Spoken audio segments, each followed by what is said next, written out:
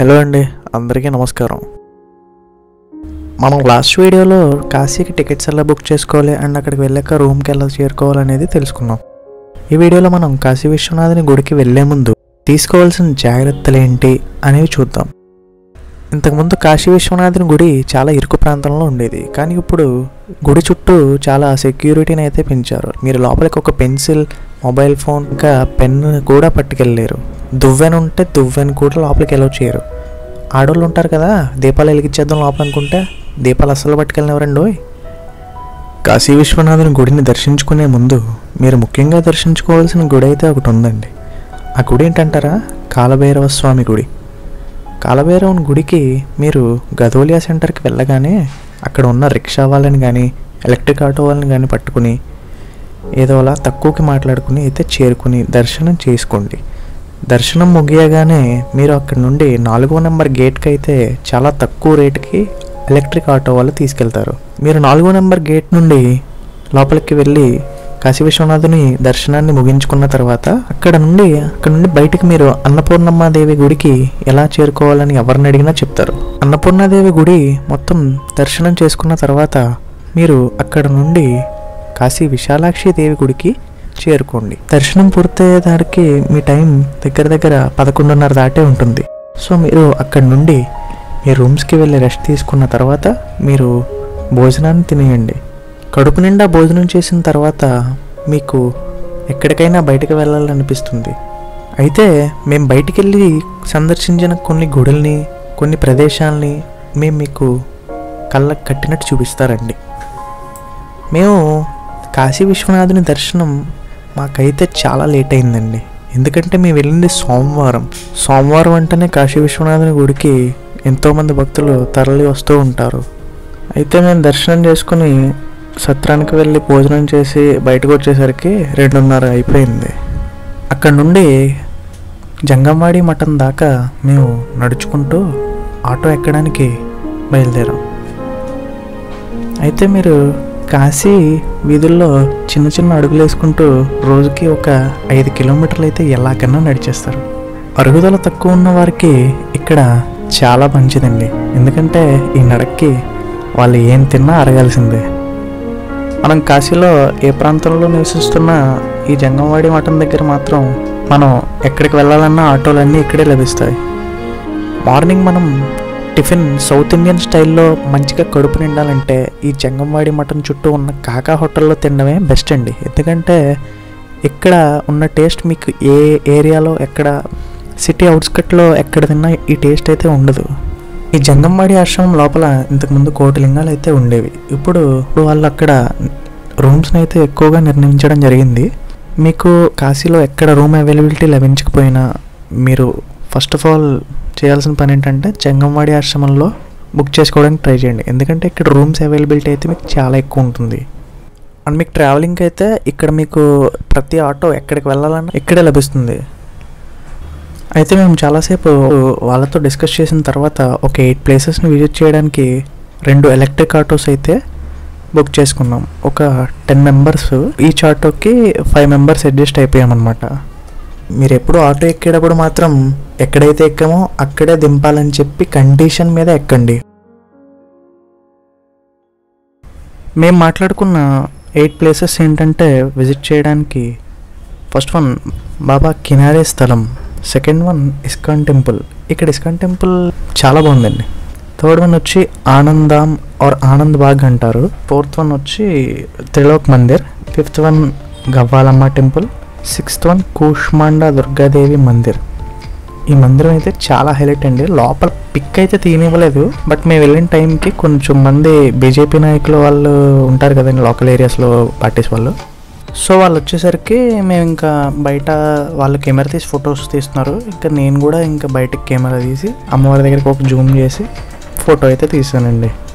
అయితే సెవెంత్ మందిర్ వచ్చి సంకట్ Mochan eighth one వచ్చి సత్యనారాయణ తులసి మానస్ మందిర్. అయితే మీరు కొంచెం తొందరగా బయలుదేరితే అయితే మీకు అన్నీ చూడడానికి అయితే బాగుంటుంది. ఎందుకంటే కొంచెం టైం లేట్ అయ్యే కొద్దీ చీకటి పడడం వల్ల మీకు కొన్ని చోట్ల ఫొటోస్ అయితే తీసుకోలేరు. చాలామంది మెమరీస్ కోసమే కదండి వెళ్తారు. ఫొటోస్ తీసుకోకపోతే ఇంక మనం అక్కడ వెళ్ళినట్టే ఉండదు అసలు. అయితే మేము అక్కడ నుండి ఫస్ట్ మందిర్కి అయితే మా ఆటో వాళ్ళు తీసుకొచ్చారు. ఈ మందిర్ నేమ్ చెప్పాను కదండి. బాబా కినారాం స్థల్. లోపలికి నేను వీడియో తీసుకుంటూ స్లోగా వెళ్తుంటే అక్కడ ఒక ఆయన ఇక్కడ ఫోటోగ్రఫీ నాట్ అలౌడ్ అమ్మా అని చెప్పి అక్కడ బోర్డు కూడా చూపించి పెట్టాడండి. ఇంకా మనం ఆగుతామా? ఇంకా ఫోన్ తీసుకెళ్ళి జేబులో పెట్టి ఫొటోస్ అయితే తీయలేదు ఈ ఏరియాలో. కానీ కా బాబా కినారాం స్థల్ అయితే మాత్రం చూడదగిన ఏరియా అండి. అక్కడ నుండి ఇస్కాన్ టెంపుల్కి మా ఆటోవాడు పక్క ఆటో వాళ్ళతో కూడా పోటీ అడిగిపోయి మరి స్పీడ్గా చాలా తొందరగా అయితే తీసుకెళ్ళాడండి.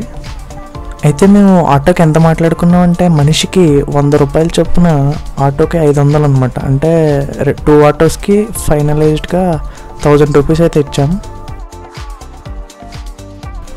అయితే ఈ ఇస్కాన్ టెంపుల్ కూడా చాలా బాగుందండి. కానీ మన బ్యాడ్ లక్ ఏంటంటే ఈ టెంపుల్ లోపల కూడా ఫోటోగ్రఫీ నాట్ అలౌడ్ అంట. సో లోపల దేవుణ్ణి అయితే నేను ఫోటో తీయలేకపోయాను. బట్ బయట సీనరీ అయితే ఇదే.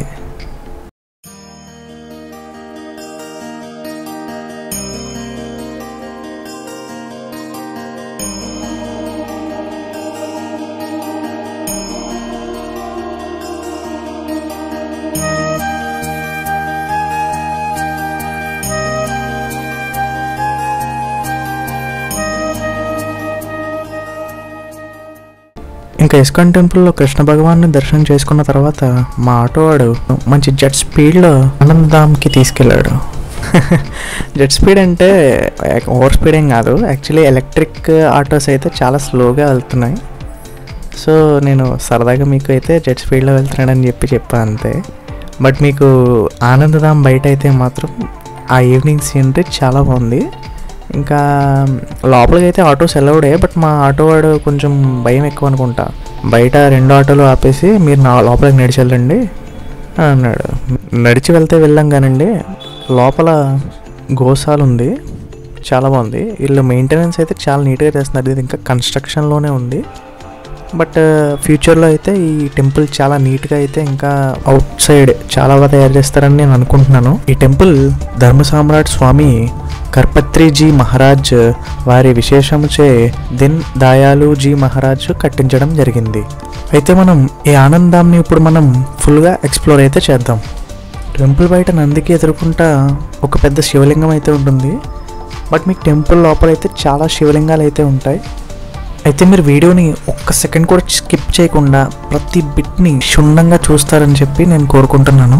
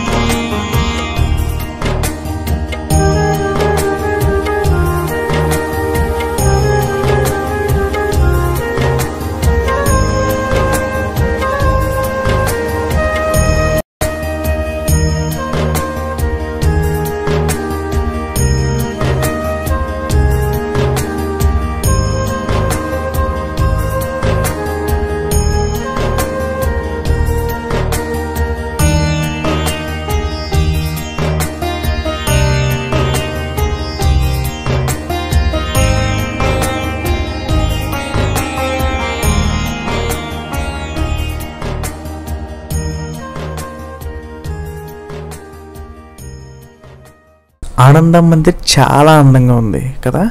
నాకైతే చాలా బాగా నచ్చిందండి. మీరైతే కాశీ వచ్చాక ఆనందం చూడలేదంటే మాత్రం ఎంతో మిస్ అయినట్టే. అయితే ఆనందం మందిర్ తర్వాత మేము త్రిలోక్ మందిర్కి వెళ్ళాం. కానీ అక్కడ మీకు ఫోటోగ్రఫీ అయితే నాట్ అలౌడ్. సో ఇంకా రూట్ని తర్వాత ఇంకా నేను గుడి బయట కూడా వీడియో తీయలేదు. ఆ విషయానికి నన్ను అయితే క్షమించాలి. అయితే నెక్స్ట్ మనం వెళ్ళే ప్లేస్ ఏంటంటే గవ్వాలమ్మ టెంపుల్ ఈ టెంపుల్కి అయితే చాలా విశేషం. ఎందుకంటే కాశీ వెళ్ళాక గవ్వాలమ్మ టెంపుల్ దర్శనం చేసుకోకపోతే కాశీ దర్శనం సంపూర్ణం కాదు అని చెప్పి అయితే చాలామంది చెప్తారు. ఈవెన్ అక్కడ పంతులు కూడా మీకు మంత్రాలు చదివేటప్పుడు కాశీ దర్శనం సం సంపూర్ణం అని చెప్పి ఒక మంత్రం అయితే లాస్ట్లో చెప్తారు మీకు. అది అయితే మీకు మంత్రాలు కూడా ఇందులో యాడ్ చేయడం అయితే జరిగింది. కొంచెం వీడియో ఇక్కడ స్కిప్ చేయకుండా అయితే చూడండి. గుడి అయితే చాలా చిన్నదండి కానీ గుడికున్న విశేషం అయితే కొంచెం పెద్దదే. అండ్ టెంపుల్ అయితే మాత్రం చాలా ఓల్డ్ టెంపుల్. మీకు ఈ చుట్టూ ఉన్న పరిసరాలన్నీ చూస్తేనే మీకు అర్థమైపోతుంది. ఈ గవ్వాలమ్మ అయితే మాత్రం ఒక గ్రామదేవత అండి ఈ గుడి అయితే ఇంతకుముందు గ్రామం చివరే ఉండేది కానీ ఈ మధ్య ఈ సిటీ డెవలప్ అయిపోవడం వల్ల ఇక్కడ అన్ని ఇళ్ళన్నీ చేరుకుపోయాయి. గుడి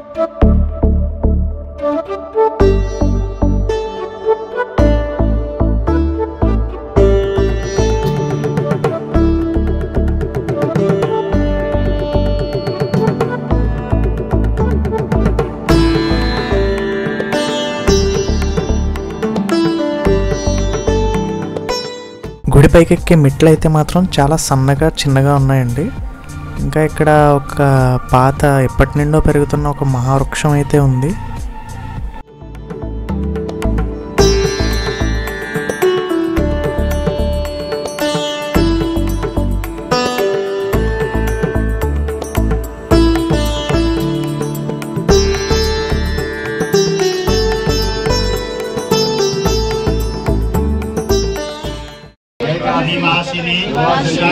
के सर्व कष्टे हरो देवी हरो देवी हर देवी हर प्रिय चामुंडे मंडवतने नारायणी नमस्ते। यात्रा यात्रा परिपूर्ण नवल पुण्य काशी पुण्य माँ को काशी यात्रा परिपूर्ण जय कमलम्मा विश्वनाथ శివే సర్వాగా గౌరామండదేవాయ గౌరామండహితాయ చ జగద్ధిత కృష్ణాయ గోవిందాయ నమో నమః ఆశీర్వాదం ఆశీర్వాదం ఆశీర్వాదం మనం కింద ఒక ఐదు గవ్వలు అయితే కొనుక్కొని పైకి వస్తామండి. ఈ పూజ అంతా అయిపోయాక ఆ ఐదు గవ్వల్లో నాలుగు గవ్వల్ని పంతులు గారు అక్కడ జల్లమంటారు. ఆ ఒక్క గవ్వని మనం ఇంటికి పట్టుకెళ్ళాలి.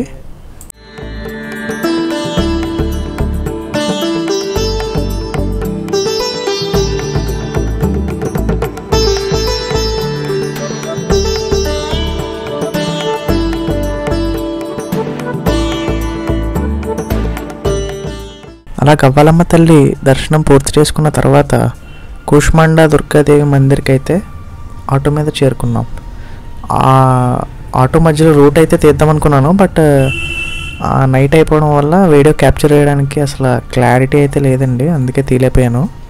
బట్ మందిరం లోపలైతే దుర్గాదేవి పిక్చర్ తీసాను ఏదోలాగా. బీజేపీ నాయకులు రావడం వల్ల కొంచెం వాళ్ళు ఫోన్ తీసి ఫోటో తీస్తుంటే నాకు ఆ ఛాన్స్ అయితే దొరికింది. పిక్చర్ అయితే మీకు లాస్ట్లో అయితే పెట్టడం జరిగింది. చూడండి.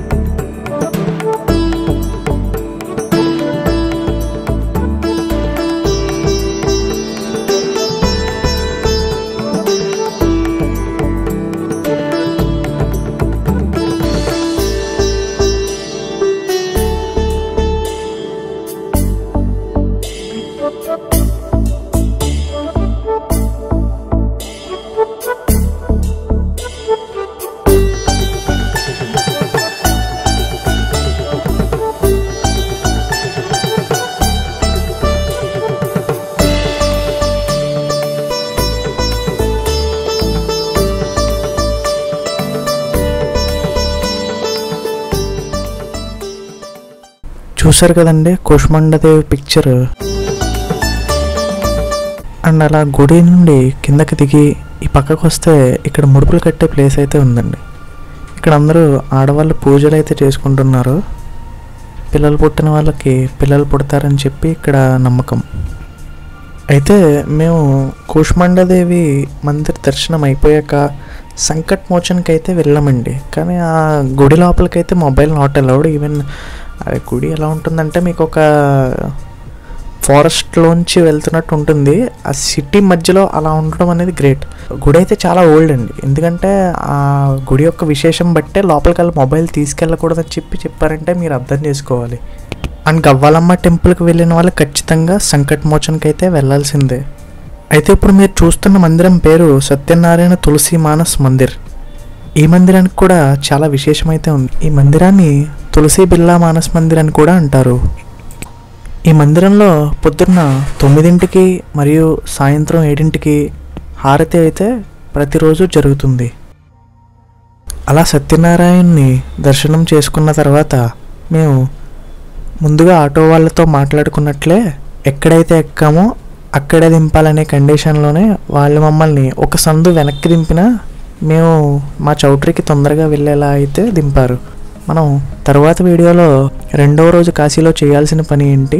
స్పర్శ దర్శనానికి ఎప్పుడైతే వెళ్తే మంచిది అనేది తెలుసుకుందాం.